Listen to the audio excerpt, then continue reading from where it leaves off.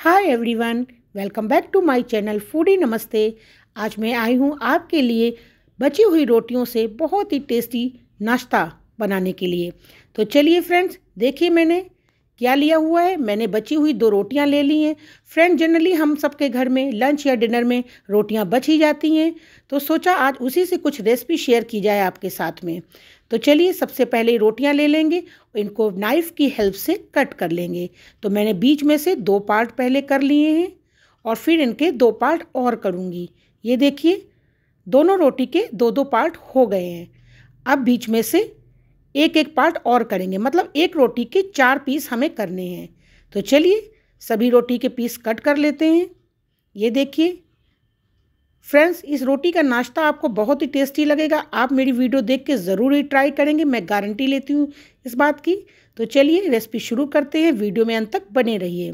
तो सबसे पहले ले लेंगे उबले हुए आलू। मैंने दो उबले हुए आलू ले लिए हैं और इनको मैश कर लेंगे।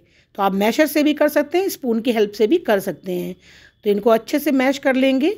कद्दूकस भी चाहें तो आप कर सकते हैं, जैसी आपकी मर्ज़ी। तो चलिए, मैंने देखिए, इसको अच्छे से मैश कर लिया है फोक की मदद से। अब बस इसमें कुछ मसाले डालने होंगे। सबसे पहले डाल देंगे कटी हुई हरी मिर्च। मिर्च आप अपनी इच्छा अनुसार जैसा चाहें वैसा डालें और हरा धनिया डाल देंगे। अब थोड़ा सा जीरा डाल देंगे।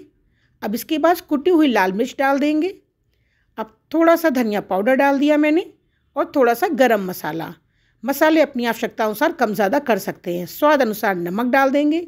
अब ये अमचूर पाउडर डाल देंगे एक चम्मच और थोड़ा सा चाट मसाला। चाट मसाले टेस्ट बहुत ही चटपटा आता है। तो फ्रेंड्स इस सबको मिक्स कर लेंगे अच्छे से। मिक्स करते हुए अच्छे से इसको मसाले में और आलू को मिक्स करके स्मूथ सा बिल्कुल पेस्ट बना लेंगे। तो देखिए, आलू का मसाला तैयार हो गया और एक तरफ़ साइड में रख देंगे। अब ले लेंगे एक बोल और बोल में डाल लेंगे आधा कटोरी के लगभग बेसन। तो चलिए, मैं क्या बना रही हूँ? बेसन में डालती हूँ थोड़ा सा अजवाइन। अजवाइन बहुत ज़रूरी होती है बेसन के डाइजेस्ट करने के लिए। थोड़ी सी लाल मिर्च पाउडर डाल दिए थोड़ा सा धनिया पाउडर डाल दिया है थोड़ा सा हल्दी पाउडर डाल दिया है और थोड़ा सा स्वाद अनुसार नमक। नमक थोड़ा ही डालेंगे क्योंकि आलू में भी नमक डाला है। अब थोड़ा थोड़ा पानी डालते हुए एक बैटर तैयार करना हमें। तो चलिए इसको बना लेते हैं। देखिए अभी काफ़ी थिक है ये। थोड़ा थोड़ा पानी डालेंगे। एकदम से पानी नहीं डालें फ्रेंड्स। अब देखिए इसका स्मूथ बैटर बना करके बिल्कुल तैयार कर लेंगे। ये देखिए, ना ये बहुत पतला है और ना गाढ़ा है। ऐसे ही मीडियम फ्लो का हमें बैटर चाहिए। तो चलिए, आगे बढ़ते हैं रेसिपी में। अब ये रोटी के जो पीस कट किए थे हमने, इनको रख लेंगे। एक पीस उठाएँगे अपना और ये जो आलू का मसाला बनाया था फ्रेंड्स इसको इस रोटी पर एक साइड से लगाएँगे। और देखिए, इसको एक साइड से लगाते हुए रोटी को फोल्ड करेंगे ट्रैंगल शेप में। देखिए कितने अच्छे से ट्रैंगल शेप में ये फोल्ड हो गया है तिकोने आकार में, और इसको चिपका देंगे। आलू की मदद से ही आसानी से चिपक भी जाता है। तो देखिए, समोसे स्टाइल का ये बन के तैयार हो रहा है। देखिए तिकोना शेप भी है, आलू का मसाला भी है, और रोटी का है तो बहुत ही हेल्दी है। आप इसे ज़रूर बनाइए फ्रेंड्स देखिए, कितनी आसानी से आलू का मसाला इसमें पेस्ट हो जा रहा है, और इसी तरह बना करके ये पीस रख लेंगे। तो चलिए, मैं सारी रोटियों के पीस बना लेती हूँ। फ्रेंड्स देखिए, सारी रोटी मैंने इस तरह आलू लगा करके बना के पीस रख लिए हैं। ये अपना नाश्ता तैयार हो गया है। चलिए, देखिए, देख लीजिए कितनी आसानी से बन गया है ये। चलिए, आगे बढ़ते हैं रेसिपी में। अब जला लेंगे गैस को और रख देंगे एक पैन। तो पैन को अच्छे से गर्म होने देंगे। अब पैन में डाल लेंगे ऑयल। तो मैंने सरसों का ऑयल लिया है। आप जो कुकिंग ऑयल यूज़ करते हैं फ्रेंड्स, वो यूज़ कर लें। मैं ये स्वेलो फ्राई ही करूँगी डीप फ्राई नहीं करूँगी, थोड़ा हेल्दी ही बनाना चाहती हूँ नाश्ते को। तो चलिए, अब ये जो बेसन का घोल तैयार किया था, उसमें ये अपना नाश्ता एक एक पीस उठा करके डिप करेंगे फ्रेंड्स और इसका बैटर धीरे से नीचे गिरा देंगे एक्स्ट्रा जो बेसन है उसको नीचे गिरा देंगे, और बड़े आराम से धीरे धीरे गर्म तेल में छोड़ते जाएँगे। देखिए, एक मैंने डाल दिया, मैं दूसरा भी उठा के डिप करती हूँ, और इसको भी डाल दूँगी। बड़े आराम से देखिए, ये बन रहा है। ये देखिए, चार पीस मैंने डाल दिए हैं। एक साथ ज़्यादा पीस ना डालें फ्रेंड्स, जितने आपके कढ़ाई या पैन में आ सकें, उतने ही डालें। और चलिए, इसको एक तरफ़ से अच्छे से पकने देते हैं। अब ये देखिए, एक तरफ़ से हल्का पक गया है तो मैंने इसको पलट दिया है। चलिए, इस तरफ़ से उलटते पलटते इसको सेंक लेंगे। हमें इसे गोल्डन ब्राउन होने तक सेकना है फ्रेंड्स। ये नाश्ता बहुत ही करारा बनेगा।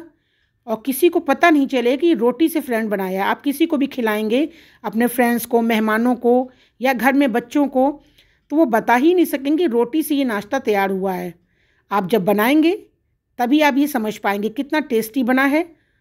चलिए फ्रेंड्स ये सीख चुके हैं अच्छे से गोल्डन ब्राउन हो गए हैं तो इनको निकाल लेते हैं एक करके पेपर नैपकिन पे, जिससे एक्स्ट्रा ऑयल है, वो भी इनका निकल जाए। ज़्यादा ऑयल फ्रेंड्स इन्होंने नहीं सोख किया है। बहुत अच्छे से बन के तैयार हुए बिल्कुल करारे क्रिस्पी। मैं दूसरा बैच भी डाल ले रही हूँ।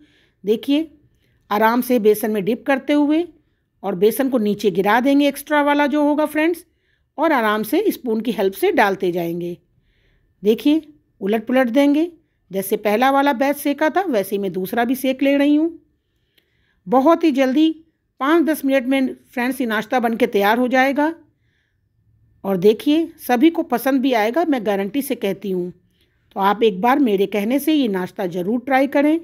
बहुत ही टेस्टी है। चलिए फ्रेंड्स, नाश्ता बन के तैयार हो गया है। अब चलते हैं, अपनी प्लेटिंग कर लेते हैं। तो मैंने प्लेट ले ली है सर्विंग और उसमें नाश्ते को रख लेते हैं। तो देखिए, देखने से कितना अट्रैक्टिव लग रहा है। अब इसको आप मनचाही अपनी चटनी कैचअप जिससे भी सर्व करिए, मैंने कैचअप रख दिया है। फ्रेंड्स ये बहुत ही टेस्टी नाश्ता बन के तैयार हो गया है। जब बच्चे कभी कभी सब्ज़ी रोटी खाने से मना कर देते हैं, आप इस नाश्ते को बना के उनको दे देंगी, वो फटाफट से खा लेंगे और बहुत तारीफ़ करेंगे आपकी। फ्रेंड्स अगर आपको आज की रेसिपी मेरी पसंद आती हो तो प्लीज़ वीडियो को लाइक कर दें शेयर कर दें कमेंट कर दें। चैनल पे अगर पहली बार आए हों तो प्लीज़ सब्सक्राइब ज़रूर करें। देखिए फ्रेंड्स मैं नाश्ते को कट करके आपको दिखा रही हूँ, तोड़ करके हाथ से। ये देखिए, अंदर की फीलिंग देखिए। कितनी गजब की है मसाला आलू ये। और इसको डिप करिए और खाइए और अपने फ्रेंड्स फैमिली सभी को खिलाइए।